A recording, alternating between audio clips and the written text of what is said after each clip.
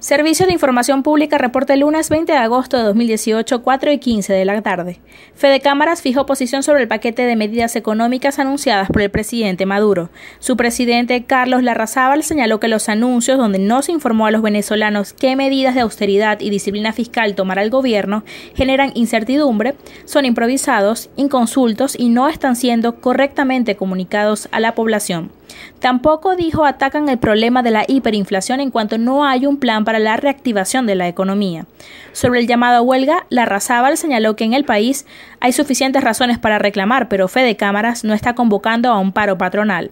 Cada ciudadano tomará la decisión de sumarse o no a esta iniciativa, dijo convocan a reunión del Consejo Permanente de la Organización de Estados Americanos por crisis migratoria de venezolanos, vía Luis Almagro. En Caracas hay cola en el cajero del Banco Exterior de la Avenida Ordaneta. Están dispensando billetes del nuevo cono monetario, vía efecto cocuyo. Diosdado Cabello anuncia marcha en Caracas en apoyo a la propuesta del programa de recuperación económica.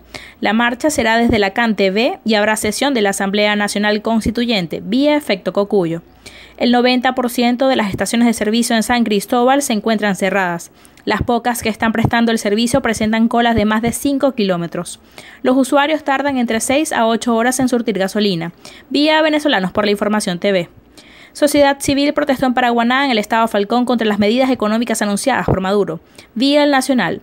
Nuestras redes en Twitter, Info Pública BZLA, en Telegram, Servicio de Información Pública y en SoundCloud, Info Pública BZLA. Soy Clavel Rangel para el Servicio de Información Pública.